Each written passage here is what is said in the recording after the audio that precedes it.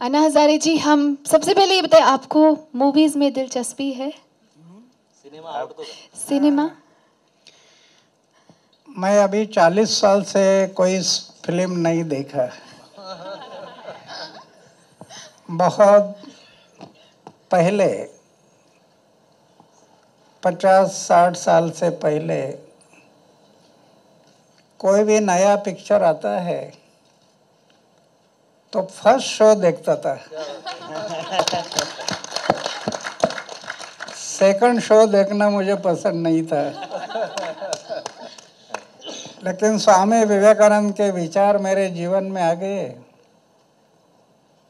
और फौज में गया। फौज के बाद मैं जब वापस आया, अभी चालीस साल से मुझे फ़िल्म देखने का दिल नहीं होता।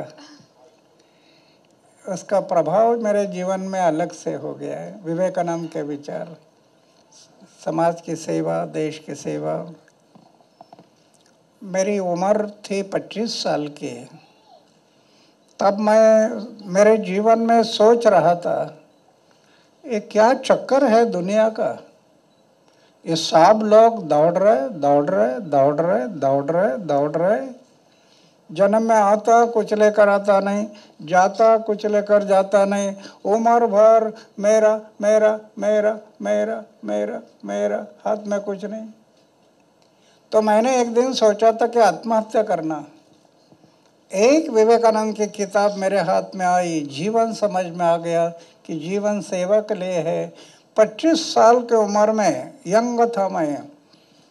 तब मैंने तय किया कि जब तक अब जीऊँगा, मेरे गाँव की, मेरे समाज की और मेरे देश की सेवा करूँगा और जिस दिन मैं मरूँगा तो गाँव, समाज और देश की सेवा करते करते मरूँगा। ये व्रत लिया मैंने 25 साल की उम्र में। यंग था मैं। आज मेरी उम्र हो गई 79 ईयर। लेकिन आज भी मेरी ऐसी धारणा है कि हार्ट अटैक आकर लोग मरते हैं, जो आपने फ़िल्म में देखा उदापुर के जन्म बताया था कि हार्ट अटैक आकर लोग मरते हैं। ऐसे हार्ट अटैक आकर मृत्यु आना इसके बजाय गाँव, समाज और देश के भलाई के लिए मृत्यु आ गया तो ये मेरा सौभाग्य है। ऐसा मैं मानता हूँ। आज भी आज भी मेरी धारणा है। मेरा कहने का मतलब यही है कि मेरे जैसे एक फ़कीर आदमी, मैं 45 साल हो गया मेरे घर में कभी गया नहीं। मेरे भाई के बच्चों का नाम क्या है मुझे पता नहीं। करोड़ रुपए की योजना अपनाए बैंक बैलेंस नहीं। राष्ट्रपति मुझे पद्मश्री पद्म भूषण अमेरिका, दक्षिण कोरिया, कनाडा, कहाँ कहाँ अवार्ड मिल गए। लेकिन करोड़ रुपए से ज़्यादा कैश अवार्ड मिल गए, उसका मैं ट्रस्ट बना दिया। बारह तेरह लाख रुपया इंटरेस्ट आता है हर साल। दुखी पीड़ित लोग हैं, उनके सेवा में लगा देता है, कुछ रखता नहीं। आज सोने का एक बिस्तर है, खाने का प्लेट है, मंदिर में रहता हूँ। सिर्फ़ सोने का बिस्तर और खाने का प्लेट लेकिन मैं अनुभव करता हूँ मेरे जीवन में। अरे, लखपति, करोड़पति को जो आनंद नहीं मिलता होगा, वो मैं अनुभव करता, कितना आनंद है। मेरा कहने का मतलब कि मेरे जैसा एक फकीर आदमी है। मंदिर में रहता हूँ। ऐसे फकीर आदमी के जीवन पर मनेन्द्र जी को क्या दिल में आ गया कि मैं ये इतना आसान नहीं है फ़िल्म निकालना? कई करोड़ रुपया खर्चा करना पड़ता है। और मेरे जैसे एक फकीर आदमी पर इन्होंने जो फ़िल्म बनाया है, ये कोई ना कोई डेयरिंग करना पड़ता है। कि मेरा पैसा है सेवा के लिए, देश की सेवा के लिए तो मेरे सामने प्रश्न है कि मनेन्द्र जी, जैन, इन्होंने जो ये फ़िल्म के लिए प्रोड्यूसर के नाते जो खर्चा किया, और शशांक जी एक युवक है। वो जब युवक थे, तब मेरा आंदोलन चल रहा था। और शशांक जी और उनके सभी ये सहयोगी है। इन्होंने ये फ़िल्म में जो काम किया मुझे विश्वास हो रहा है, मैं पहले एक मिनट का फ़िल्म देखा था, अभी ढाई मिनट का हो गया।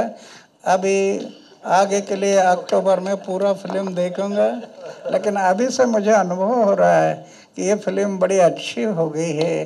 और इन सब कलाकारों ने इसमें जो काम किया है, ये लगन से अपना दिल जान लगा कर जो काम किया है मुझे विश्वास होता है कि देश के युवकों को एक नई प्रेरणा मिलेगी ये फ़िल्म देखने से। कहीं लोग अपना भी गाँव ऐसा बनाना बोल के स्फूर्ति मिलेगी, उससे ये देश, नया देश खड़ा हो जाएगा, ऐसे मुझे विश्वास होता है। तो मैं मनेंद्र जी और सब कलाकार, उनके भावी कार्य के लिए, उनके उम्र के लिए मैं शुभकामना व्यक्त करता हूँ। धन्यवाद। जय हिंद। और फिर एक नारा फिर आपको याद दिला देता हूँ। भारत माता की। धन्यवाद sir thank you so much एक प्रश्न अन्ना जी से है मेरा। अन्ना जी अन्ना जी आपके सामने आ, आपके सामने अन्ना जी रितेश ईटीवी से। जिस तरह की जिस तरह की ल, उनको बता दीजिएगा मैं जो पूछ रहा हूँ सर को। जिस तरह की लॉ आपने जगाई थी 2011 में, जिस तरह से जन लोकपाल की बात थी और अरविंद केजरीवाल के इंटरफेरेंस की वजह से चीज़ें हो नहीं पाई तो कितनी कसक आपके मन में है जन लोकपाल को लेकर?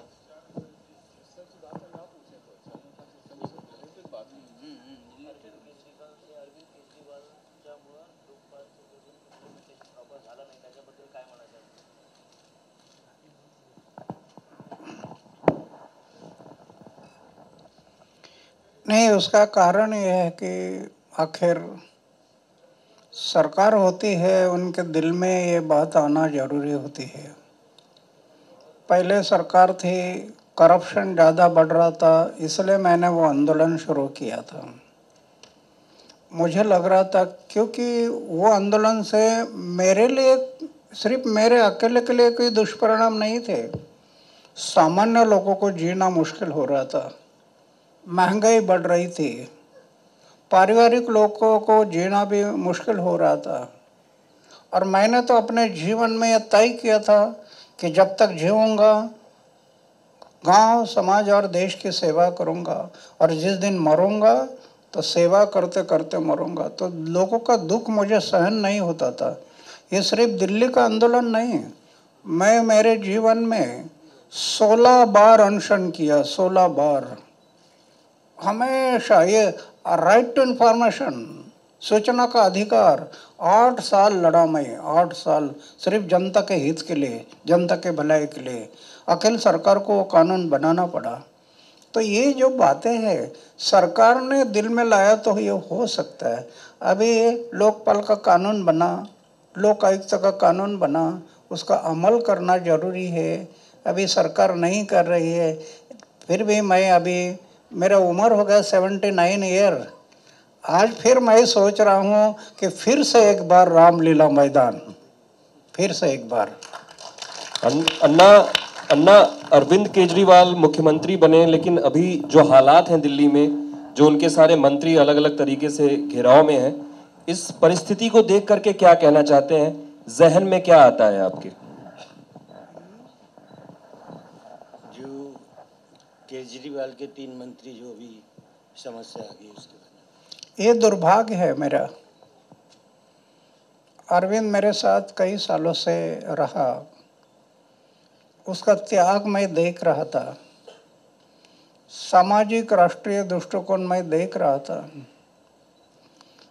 मुझे लग रहा था कि देश के लिए एक अच्छा काम करने वाला आदमी है। लेकिन जब ये आंदोलन हुआ और आंदोलन के कारण ये लोकपाल का कानून बन गया, पूरा देश खड़ा हो गया। न जाने उनके दिल में क्या आ गया, मुझे, मैं नहीं जानता, क्योंकि भगवान ने एक बात अच्छी बनाई है। आपके दिल में क्या है, मुझे समझ में नहीं आता, और मेरे दिल में क्या है, आपको समझ में नहीं आता। तो उनके दिल में क्या था, मैं समझ नहीं पाया। लेकिन अभी मैं अनुभव कर रहा हूँ कि एक सत्ता सर में जाने के बाद ये हुआ क्या क्या? सत्ता। और मैं उनको पूछ रहा था कि तू तो पार्टी निकाल रहा ना? निकाल। मेरा आपका रिश्ता नहीं। आपका रास्ता अलग है, मेरा रास्ता अलग है। मैं तो गांधी जी के मार्ग से जाऊँगा। आंदोलन। आपको पार्टी निकालना तो निकालो। तब मैंने उसको एक प्रश्न किया था कि आप पार्टी बना रहे हैं। पार्टी में आने वाले लोग चारित्रशील है, नहीं है? उसका आचार शुद्ध है, विचार शुद्ध है, जीवन निष्कलंक है, जीवन में त्याग है और अपमान सहन करने की शक्ति है। ये पार्टी में आने वाले जो लोग हैं, उनकी खोज करने का आपके पास क्या तरीका है? वो जवाब नहीं दे पाया था मुझे। और आज मैं अनुभव कर रहा हूँ कि छः मंत्री में तीन मंत्री निकालने की नौबत आ गई, क्योंकि खोज करने का तरीका नहीं था। इसके कारण ऐसे मंत्री भी बीच में आ गए थे। तो ये उसको दुष्परिणाम हो गया। है लेकिन अभी वो आगे चल रहा है। आगे चल रहा है। वो तीन मंत्री चले गए और एमएलए कितने गए? एमएलए भी। एमएलए भी उनके ऊपर एक्शन हुआ। जेल में गए। तो ये मेरा दुर्भाग्य है कि मैं बड़े सपना देख रहा था। ये मेरा सपना टूट गया। मुझे बड़ा दुख होता है इस बात का कि एक अच्छा आदमी, अगर हमारी टीम अगर होती ना, अरविंद और हमारी टीम 2011 से पहले से जो चली आ रही थी, वो टीम अगर ना टूटती और ये टीम बने रहते तो आज देश का नक्शा बदल जाना था, ऐसा मुझे विश्वास है। देश का नक्शा बदल जाना था, सिर्फ़ टूट, टीम नहीं टूटनी चाहिए थी, लेकिन टूट गई वो। तो फिर भी हम लोग कोशिश करेंगे देश के लिए। अन्ना आपने सेना के साथ भी भारतीय सेना के साथ भी काम किया है। युद्ध में आप लड़े भी हैं। तो अभी जो हालात हैं देश में और पाकिस्तान बार बार वही कर रहा है तो क्या आपको लगता है कि एक बार फिर से युद्ध के हालात नज़र आते हैं आपको देश में? नहीं क्या है कि पाकिस्तान और भारत ये पड़ोसी देश है। दोनों देशों ने पड़ोसी धर्म को निभाना ज़रूरी है। पड़ोसी धर्म क्या कहता है? एक दूसरे के सुख दुख में सहभागी होना। ये हमारा पड़ोसी धर्म कहता है। पैंसठ की लड़ाई हुई थी, उस टाइम पर भी पाकिस्तान ने अपना होकर मोल ले लिया। मैं पैंसठ की लड़ाई में था खेमकरन के सीमा पर। मैंने देखा था वहाँ पर भी। और हमारे जो बॉम्ब थे वो लाहौर में जाकर गिरते थे। इसलिए पाकिस्तान उधर ही रुक गया और शीश फायर के लिए आग्रह किया। अभी उनको पता है कि भारत की शक्ति क्या है। अभी उन्होंने ऐसा नहीं करना चाहिए था कि बार बार बार बार ये जो हमारे ओ, ओ, क्या वो अ, क्या वो, अतिरेकी अतिरेकों को भेजना और हम पीछे से खड़ा होना और तकलीफ़ देना। ये ठीक नहीं है। दोनों देशों के लिए लड़ाई ठीक नहीं है, लेकिन फिर भी मेरी ऐसी धारणा है, अगर पाकिस्तान नहीं मानता है सलोखा नहीं जानता और समय आ गया लड़ाई करना तो मैंने अभी भी बोला था कि 79 ईयर के मेरा एज है, फिर से एक बार बॉर्डर पर जाऊँगा, लड़ूँगा मैं। स्मॉल अर्जेंट अनाउंसमेंट मेरी मीडिया से रिक्वेस्ट है please stick to the question related to the movie please it's a request thank you आपने कई सवाल पहले ही पूछ लिए हैं तो वो सवाल ऑलरेडी हो चुके हैं। इसलिए हम लोग कुछ अलग सवाल भी पूछ रहे हैं। अन्ना साहब आपको एक होटल में रुकने को कहा गया था लेकिन आपने मंदिर में रहना स्वीकारा। इसके पीछे की क्या वजह है? इस प्रेस कॉन्फ्रेंस से पहले। तुम्हाला हॉटेलमध्ये थांबायला सांगितलं होतं पण तुम्ही तुम्ही तुम्हाला हॉटेलमध्ये थांबायला सांगितलं होतं पण तुम्ही मंदिरात थांबलात. का कारण? हॉटेल? हॉटेलच्या ऐवजी मंदिरात थांबला तुम्ही। हॉटेलमध्ये कुठे? नाही मंदिरात थांबले ना आपण रघु रा- हरे राम हरे कृष्ण। हाँ तर का? म्हणजे हॉटेलच्या ऐवजी नहीं नहीं वो क्या है? मैं तो होटल में जाता नहीं। अभी इतना घूमता हूँ लेकिन होटल में खाना भी नहीं खाता। क्योंकि ये सब इधर का चम्मच उधर उधर का चम्मच इधर जाता है। इसलिए मुझे ठीक नहीं लगता। है अ, अभी मनेंद्र जी ने एक पवित्र जगह बोल के उधर मेरी व्यवस्था की थी। मेरा और आश्रम, ये अभी तक मैं बहुत दिन पहले एक बार आया था।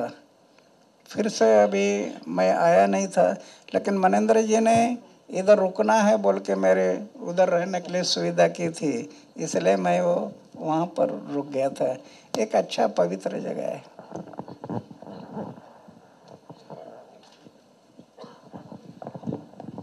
हेलो अन्ना जी अ, मेरे दो, काबिल दोस्त ने अभी आपसे पूछा भारत पाकिस्तान के रिश्ते को लेकर।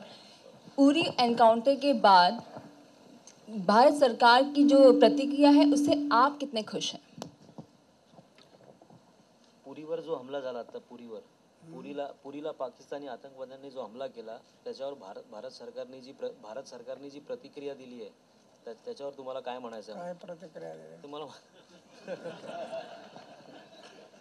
नहीं, अभी उरी में मैं रहा है, पाकि, कश्मीर में। मैं दो साल कश्मीर में रहा है। श्रीनगर से आगे मैं, मेरा यूनिट था। और ये उड़ी, पुंछ, बारामुल्ला, यहाँ पर मैं हमेशा उस एरिया में जाता था। अभी जो पाक उरी में हमला किया, ये ये भ्याड़ हमला है। निर, निष्पाप लोगों को आप गोली चलाते हैं। क्या उनका कसूर है? हाँ हम लड़ते लड़ते एक दूसरे पर गोली चल गई तो बाज अलग है, लेकिन सोए हुए लोगों पर गोली चलाते हैं तो ऐसे स्थिति में सरकार ने जो अपना स्टेटमेंट दिया, मैं उसका समर्थन करूँगा। और सर यहाँ पे भारत में एक पॉलिटिकल मुंबई महाराष्ट्र में पॉलिटिकल पार्टी है। उसने कहा कि पाकिस्तान के जितने भी आर्टिस्ट हैं उन्हें भारत छोड़ देना चाहिए। वो यहाँ पे काम नहीं करना चाहिए। तो उस पर आप क्या विचार रखते हैं? जे म्हणते की भारतात भा- पाकिस्तानी कलाकारांनी भारतात काम करू नये। नहीं ऐसा है। कलाकार का रिश्ता अलग होता है। कलाकार ये कलाकार होते हैं। एक आदमी किसी देश का है, कहाँ का है, लेकिन उसका कला का दूसरे लोगों को भी प्रेरणा मिलते रहते हैं। लड़ाई और कला, इसमें थोड़ा फ़र्क करना चाहिए। जो कला है, वो कलाएँ रहनी चाहिए। हाँ मैंने जो कहा कि अगर नहीं बाज जाता तो मैं भी लड़ने के लिए तैयार रहूँगा कि उन्नीस, उनासी साल के इसमें। लेकिन कला जो है ना कला के बारे में हम नफरत नहीं करना चाहिए। हेलो हेलो अन्ना। अन्ना जी आपने कहा कला को लेकर नफरत नहीं करनी चाहिए लेकिन अगर भारत में आकर पाकिस्तानी कलाकार पैसा कमा रहे हैं तो कम से कम पत, पा, पाकिस्तान को भी लिबरल होना चाहिए उनके लोगों को भी लिबरल होना चाहिए उनकी गवर्नमेंट को भी सोचना चाहिए कि हिंदुस्तान उनके लोगों को रेवेन्यू जनरेट करा रहा है। तो आपसी रिश्ते तभी मज़बूत होते हैं जब दोनों तरफ़ से अच्छाइयाँ होती हैं। वो अच्छाइयाँ नहीं कर रहे हैं तो हम क्यों करें? नहीं, अगर कला है, कलाकार है या कला है, वो हमारे देश में आकर गलत रास्ते से जा रहा है तो फिर हमें सहन नहीं होगा। उसकी कला का दुरुपयोग होता होगा, समाज के लिए नुकसान होता होगा, राज्य के लिए नुकसान होता होगा, देश के लिए नुकसान होता होगा तो हमें मंजूर नहीं फिर।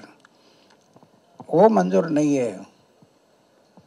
अन्ना जी इलेक्शन के पहले कैंपेन चला था अच्छे दिन आने वाले हैं। तो आपको लगता है वाकई बीजेपी अच्छे दिन ले आएगी?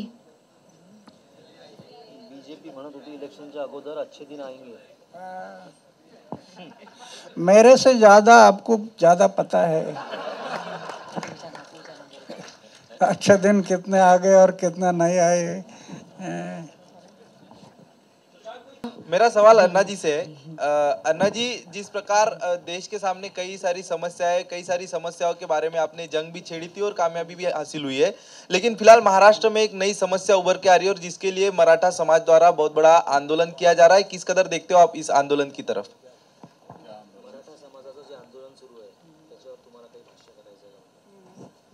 अन्ना जी, कोई कमेंट्स नहीं करना चाहते। एकंदरीत राज्यभरातून कुपोषणाचे बरेच आपल्याला किस्से ऐकायला येतात आहे. इथे इथे. उजवीकडे. उजवीकडे इथे. हां. एकंदरीत आपल्याला राज्यभरातून असे अनेक कुपोषणाचे किस्से समोर येतात. त्याच्याविषयी तुमची काय भूमिका आहे? माझी?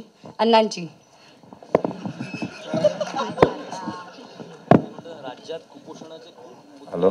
ऐकायला येत आहेत त्याच्याबद्दल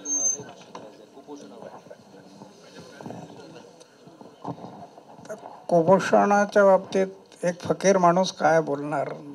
ज्याच्याकडे पण एक आहे मानवतेच्या दृष्टीने स्वातंत्र्याच्या एकोणीस वर्ष एकोणऐंशी वर्षानंतर एकोणसत्तर वर्षानंतर या देशात कुपोषणाची समस्या वाढणं हे दुर्दैवी बाब म्हणावं लागेल. राज्यकर्त्यांनी याच्यावर गांभीर्याने विचार करणं आवश्यक आहे. की कुपोषण वाढू नये. खास करून ही जी बालकं आहेत ही आमची राष्ट्रीय संपत्ती आहे.